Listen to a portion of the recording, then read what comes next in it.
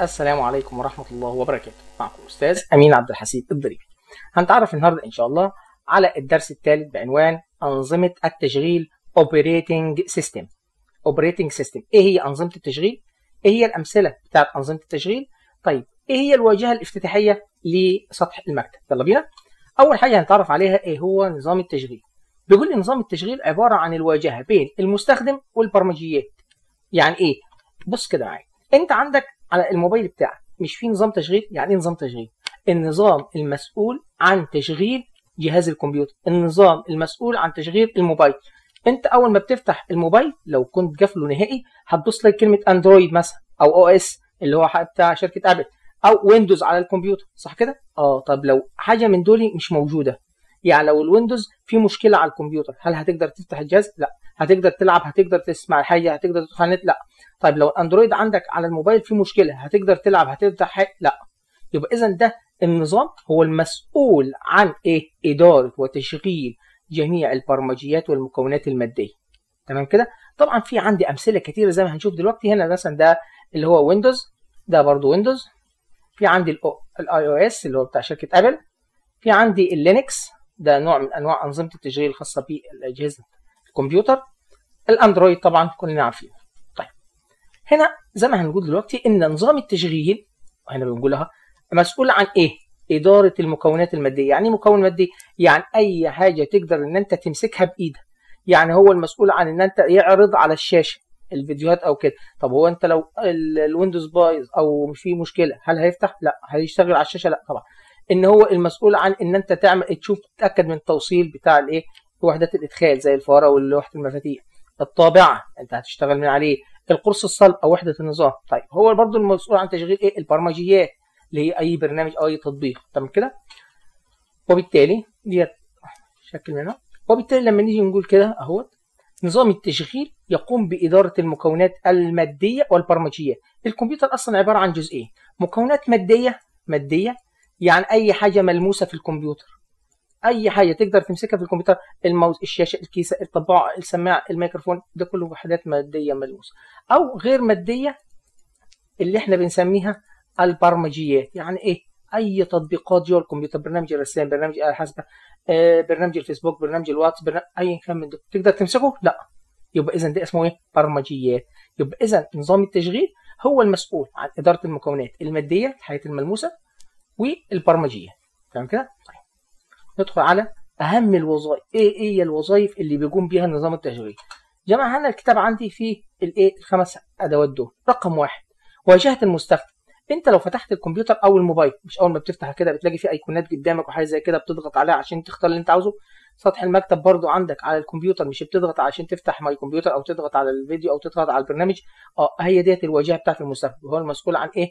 التشغيل الحتة دي عشان يقدر إن إحنا ندير العملية دي. طيب إدارة الذاكرة لو أنت في مشكلة في نظام الكمبيوتر أو نظام التشغيل بتاعك هل هتعرف الذاكرة بتاعتك فاضية الذاكرة ممتلئة الكلام ده كله؟ لا الموبايل مقفول بايظ مش راضي يشتغل.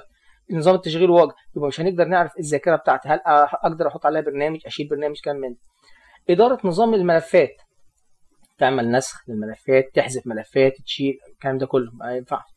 إدارة المكونات المادية زي ما قلنا من شوية المكونات المادية اللي هي كل المكونات اللي تقدر تركب في الكمبيوتر هركب فلاشه هركب آه كيبورد ماوس آه كاميرا سماعة الكلام ده كله تمام؟ طيب الأمن والحماية. طبعا الأمن والحماية ديت من ضمن البرمجيات اللي هو البرامج مثلا بتاعت الإيه؟ الانتي فيروس اللي إحنا بنحطها. في عندي الجدار الناري ال firewall الكلام ده كله اللي هي الموجودة في أنظمة التشغيل. يبقى أهم الوظائف اللي بيقوم بها نظام التشغيل واجهة إدارة واجهة المستخدم إدارة الذاكرة إدارة نظام الملفات إدارة المكونات المادية إدارة البرمجيات اللي هو سماها عندي هنا الإيه؟ الأمن والحماية. تمام؟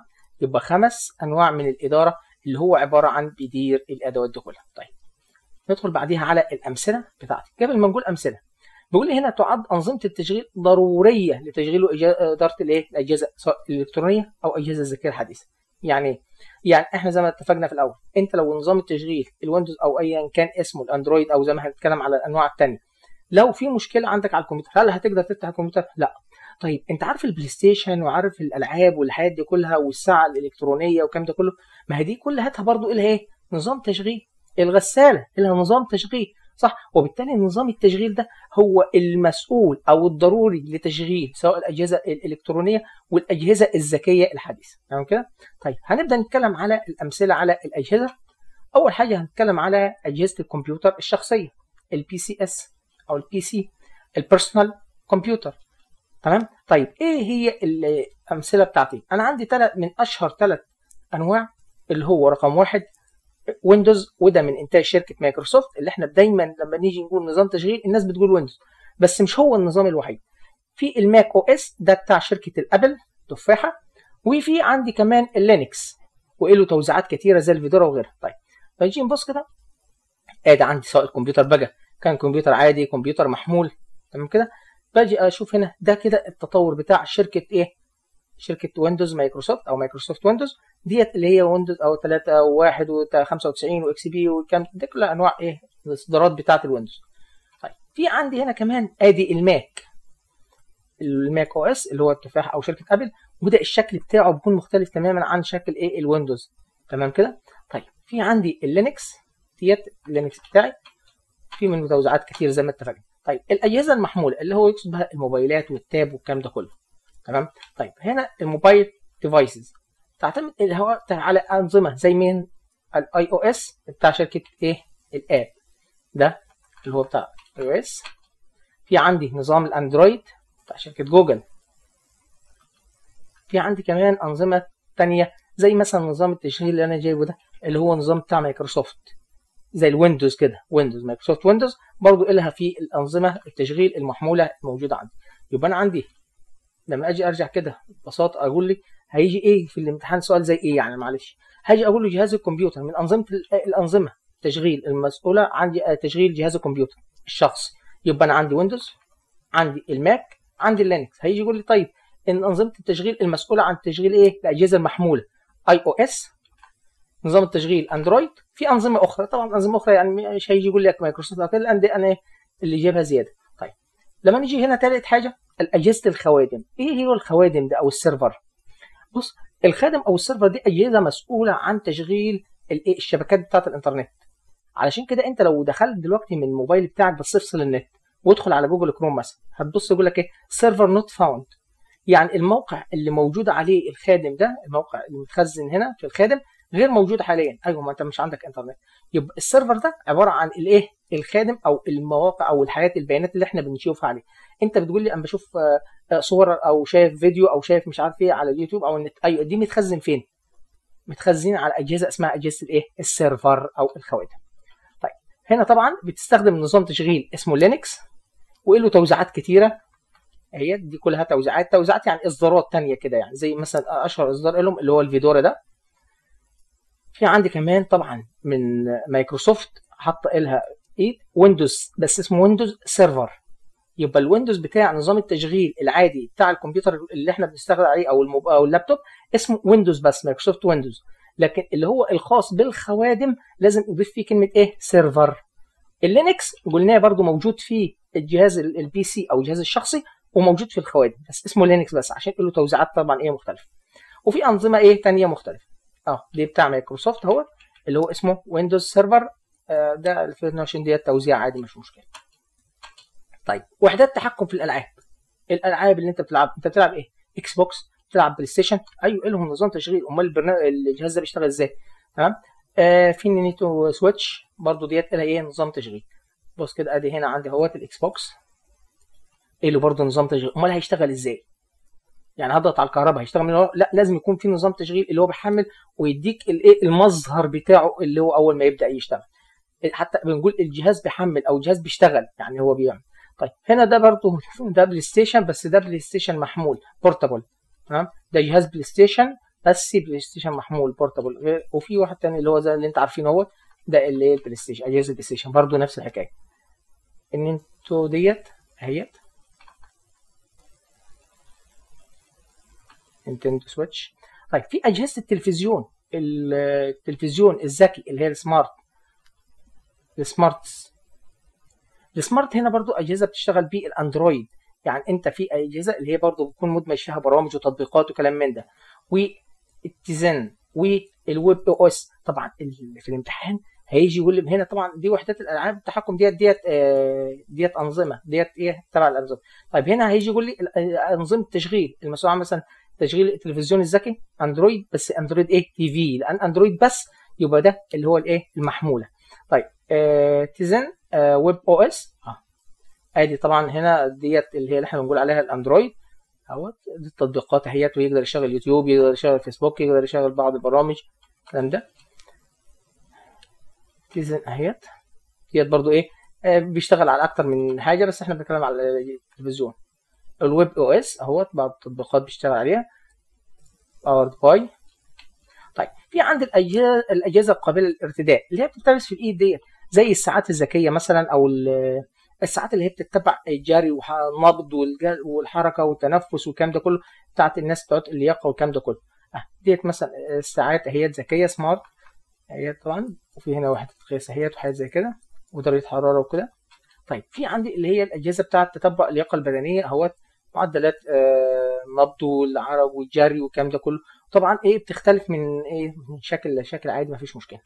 طيب في عندي أجهزة الشبكة. إيه أجهزة الشبكة؟ أنا عندي أشهر جهازين موجودين على الشبكة اللي هو ال router وال switch. الراوتر ده اللي هو بيجي معايا اللي أيوه اللي هو يكون في جنب التليفون أو سلك التليفون اللي أنا باخد منه الإنترنت.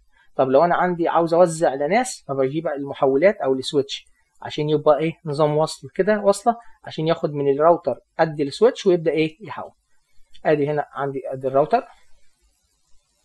ادي الراوتر بيكون بالشكل ده كده وهنا المنافذ بتاعته أو المخارج بتاعته. تمام؟ طيب في عندي كمان اللي هو ادي ال switch اهوت. آه ال switch اهوت عشان يبدأ يوزع بياخد هنا من الراوتر ويبدأ في الخانة ديت. ويبدأ ديت الايه اللي ياخد بقى إيه لاجهزه الكمبيوتر والكلام ده كله. طيب رقم 8 عندي 10 أمثلة.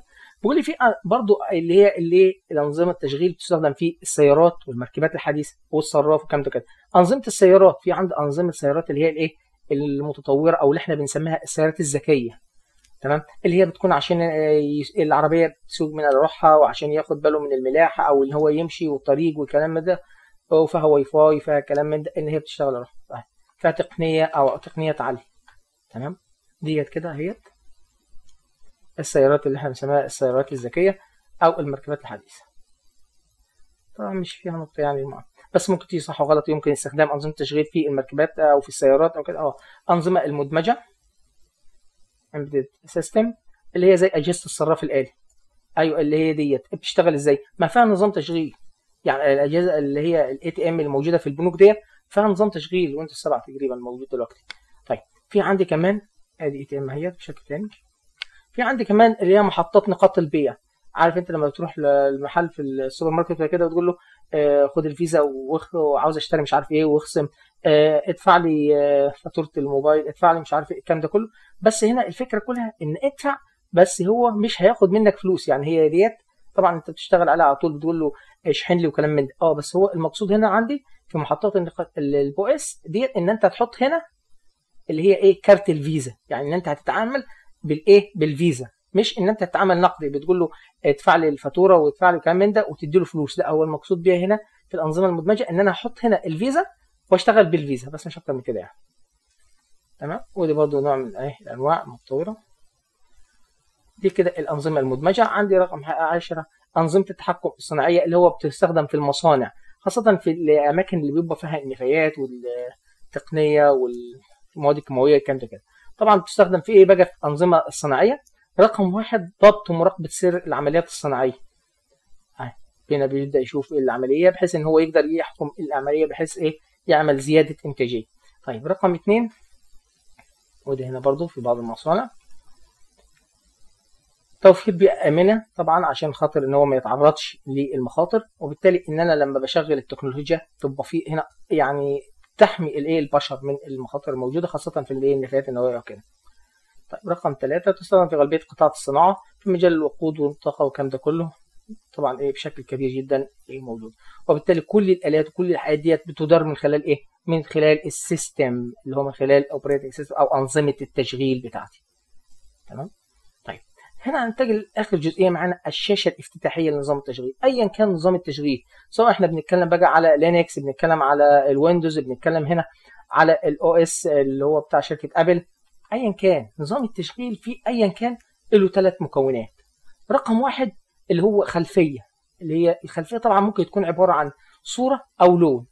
يبقى رقم واحد الخلفية اللي إحنا بنسميها ال desktop تمام؟ دي بتكون عبارة عن لون أو صورة. طيب رقم اثنين ال icon أو اللي هي الرموز أو المصغرات اللي هي الحاجات اللي بتبقى زي دي كده أو زي دي اللي هي الايقونه بتاعت ماي كمبيوتر ايقونه البرنامج بتاع الإنترنت ايقونه مش عارف البرنامج بتاع إيه ده اسمها أيكون اللي هي عبارة عن رموز. تمام كده؟ الرمز ده عبارة عن إيه؟ عن البرنامج اللي أنت مصفر طبعا ممكن نبص هنا كده لو بصيت على البرامج اللي هنا ديت غير البرامج اللي هنا غير البرامج اللي هنا أنا منزل برامج أنت منزل برامج فديت إيه؟ مش مشكلة. طيب آخر حاجة الأشرطة أو ال bars آه أدي هنا في في ال OS X. في الشريط بيكون هنا. في عندي في ال Linux الشريط بيكون في الجنب كده هنا. في عندي في ال Windows بيكون شريط تحت كده اللي هو بيكون عليه الوقت والتاريخ وكلمة start أو الرمز بتاعها اللي هو بالشكل ده. طيب يبقى هنا عندي كده سطح المكتب رقم واحد اللي هو ال desktop وده بيكون عبارة عن خلفية عبارة عن صورة أو لون. أنت اللي بتحدده بنفسك آه زي دي كده مثلا. آدي أدي خلفية اهي بتاعت ال Windows. 10 آدي ال icons أهيت. آدي اللي هو الشريط أو ال bars اللي إحنا بنقول عليه اللي هو عليه أهم حاجة اللي هو الوقت والتاريخ. تمام؟ طبعا لما بتبقى عربي أو بتبقى ناحيه اليمين الإنجليزي ناحية الشمال ديت مفيش مشكلة. رقم اثنين زي ما قلنا هي برضو التوزيعة الثانية ادي الشريط بيكون فوق أهوت. ال Linux. ودي ال icon بتاعتي. مجموعة الرموز icon اللي إحنا قلنا عليها هي زي ديت. وبتختلف طبعا من إيه؟ من جهاز كمبيوتر لجهاز على حسب كل واحد. رقم ثلاثة أشرطة أو ال bars اللي تحتوي على إيه؟ الأيقونات البرامج أو اللي هي بنسميها الرموز أو الترميزات البرمجية. يعني لما بتيجي تظهر كده أه ديت محطوط عليها أهوت مثلا برنامج أهوت أيقونات مثلا ال Internet Explorer لل Firefox أيا كان البرنامج اللي أنت مثبته تحت عشان تضغط عليه يفتح معاك. يبقى هنا بيقول لي بيحتوي على أيقونات اللي هي بترمز رموز بالإضافة إلى إعدادات النظام مثل التاريخ والوقت وإعدادات الصوت اللي أنت بتشغل الصوت والشبكة اللي هي بتبقى شكل كده جهاز الكمبيوتر أو الشاشة أو بتبقى شكل السلم لو أنت مشغل إيه؟ جهاز كمبيوتر. تمام كده؟ بالتوفيق ونجاح يا شباب. أتمنى إذا عجبكم الفيديو ما تبخلش علينا بالإعجاب اشترك معنا في القناة تفعيل زر الجرس ليصلك منا كل جديد. انتظرونا بإذن الله في الدرس الرابع تثبيت وإزالة البرامج install program install program شكرا السلام عليكم ورحمه الله وبركاته